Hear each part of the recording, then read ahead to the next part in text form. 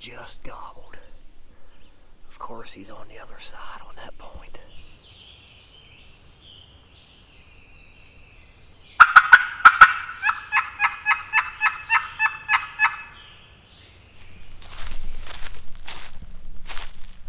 I heard a turkey just to my right, just down off the edge. Sounded like a hen.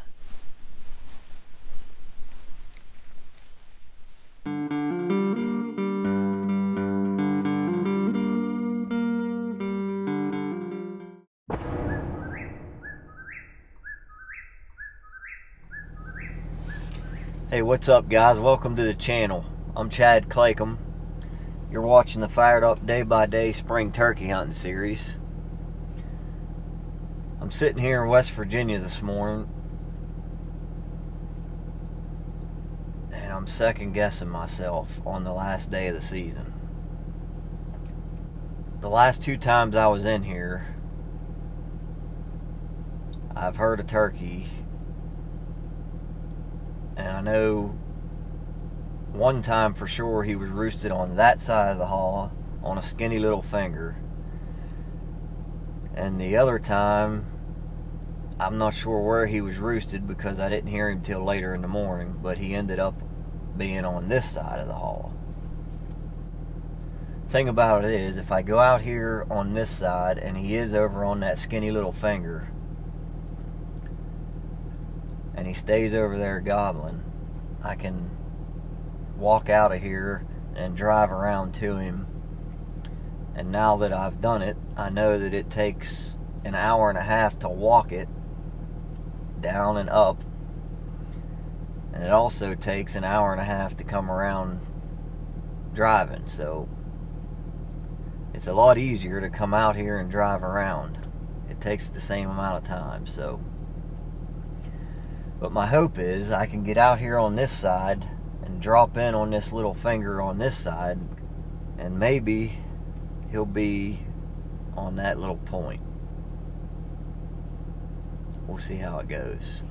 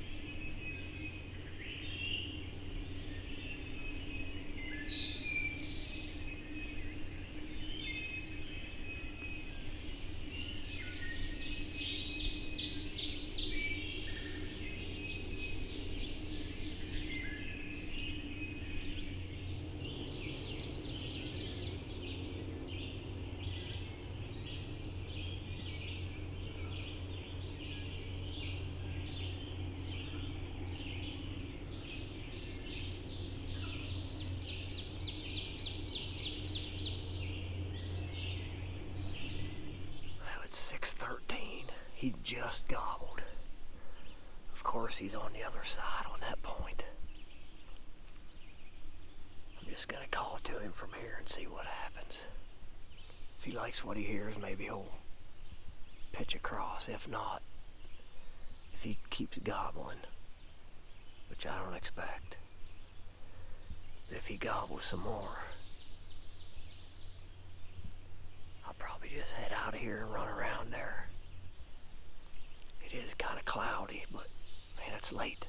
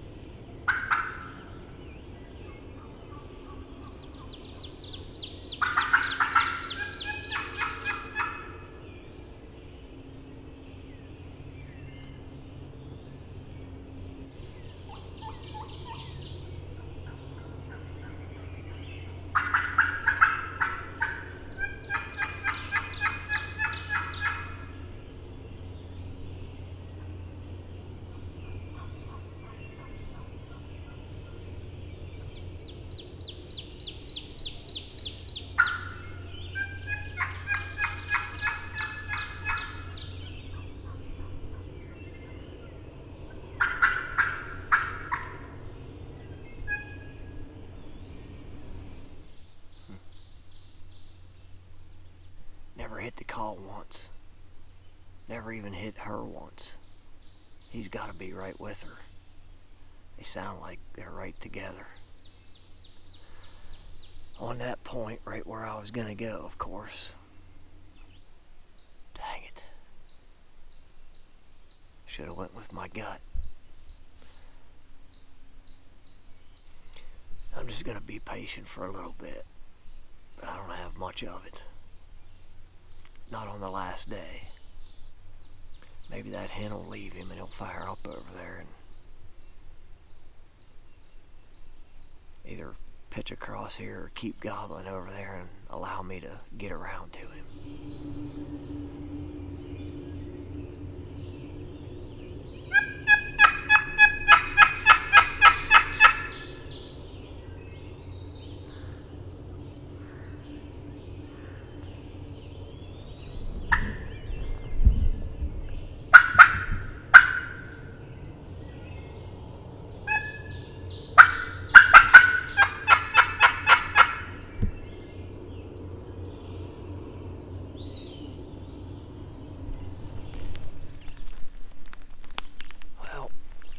There for about a half hour.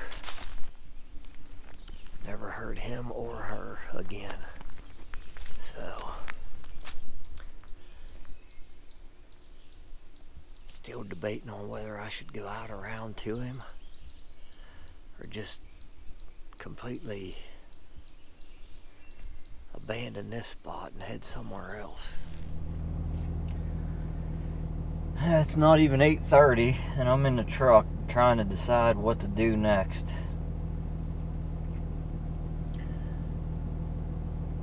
I don't think I'm going to drive around to that other turkey because he just didn't show any interest whatsoever. I'm pretty sure that hen was with him. He didn't even gobble to her. Maybe I could come back to him at like 10 or 10.30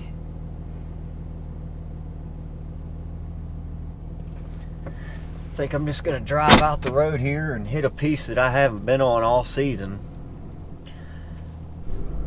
See if I can find anything. I know it's been hit pretty good.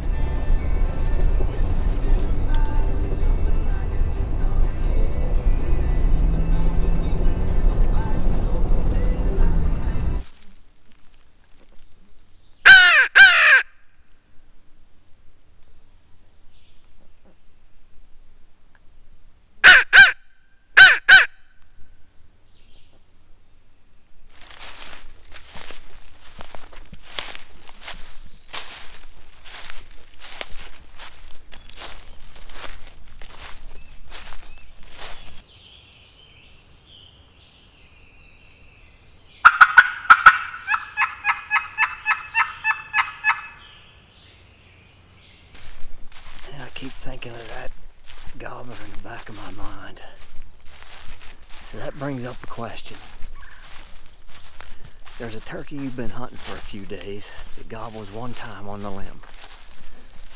You start calling to him, he doesn't answer, but a hen right there with him does.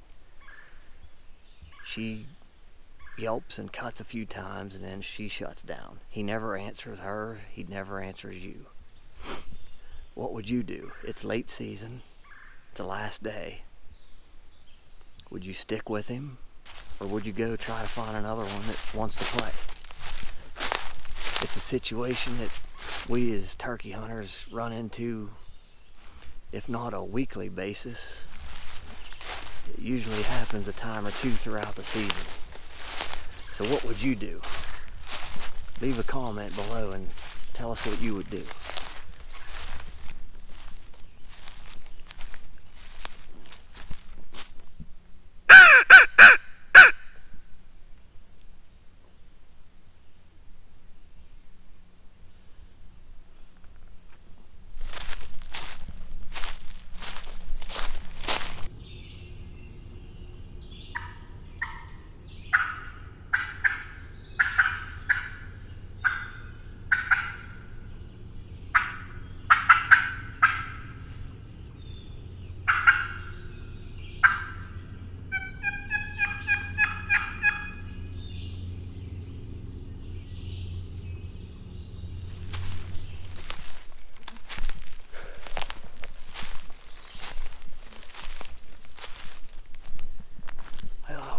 Walking out this road along the ridge top, and I was just about to say, I haven't seen any droppings, no tracks, no feathers, no dust bowls, no nothing, no turkey sign whatsoever on that road the whole way out this ridge. Just as I was about to say that, I heard a turkey just to my right, just down off the edge, clucking and purring. Sounded like a hen. But I hurry up and fell off the backside of the ridge and swung around here and gonna make a big loop and try to get out here in these nice woods in front of it. It's getting late. Quarter after 11. It almost sounded like there was two turkeys there clucking. Probably a couple hens. Not sure though. But I'm gonna swing around the point here and get in these open woods call to her and see what she does. Maybe she has a gobbler with her, you never know.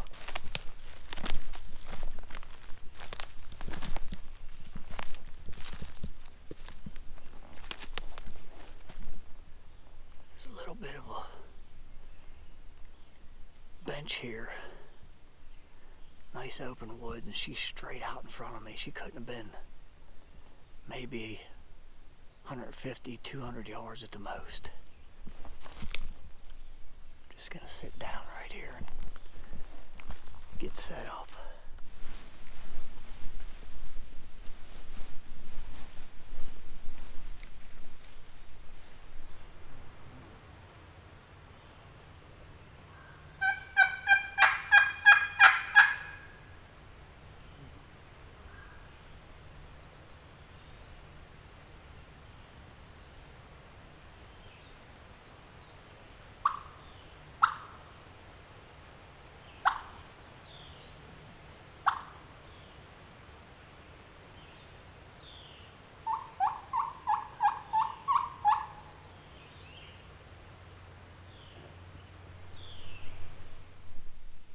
That's going to wrap up the West Virginia season. Not exactly the way I envisioned it ending. But I can't complain. It was a good season. I had several chances and boogered most of them up because of this camera. There weren't too many days where I didn't at least hear a gobble this year. So that's a good thing. I had turkeys to chase most days. I mean, how can you complain when you got views like this and smell the smells and hear the sounds of spring and get to see the sunrise out in the woods as much as I have this year? You, you can't beat it. Whether you kill a turkey or not, it's a successful season. But anyways, I appreciate you guys watching. Thanks for sticking with me. Got one week to go in Pennsylvania, so I'm going to give it heck as much as I can. We'll see you next time, guys.